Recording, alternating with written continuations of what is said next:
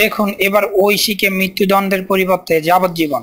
রাজধানী চামেলিবাগে স্ত্রী সহ পুলিশের পরিদর্শক মাহফুজুর রহমান হত্যা মামলায় তাদের মেয়ে ঐশী রহমানকে মৃত্যুদণ্ড পরিবর্তন করে যাবজ্জীবন কারাদণ্ডাদেশ দিয়েছে উচ্চ আদালত।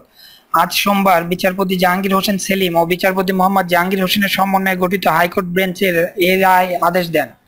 আদালতে রাষ্ট্রপক্ষ শুনানিতে ছিলেন deputy attorney general Zahirul Haque Zahir ও সহকারী অ্যাটর্নি জেনারেল আতিকুল হক সেলিম। ঐশীর পক্ষে শুনানিতে অংশ নেন আইনজীবী সুজিত চ্যাটার্জি বাপ্পি।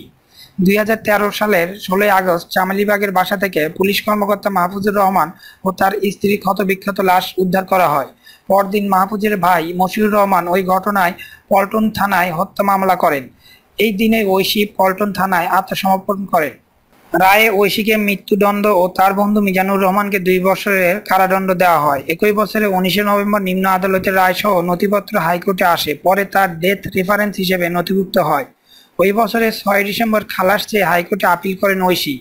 অগ্রাধিকার ভিত্তিতে এ মামলার পেপার বুক প্রস্তুতির পর ওই বেঞ্চে মামলাটি শুনানির জন্য আসে। গত বারোই মার্চ এইসবের ওপর শুনানি শুরু হয়।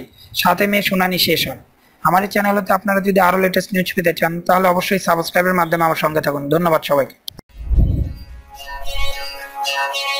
Thank you.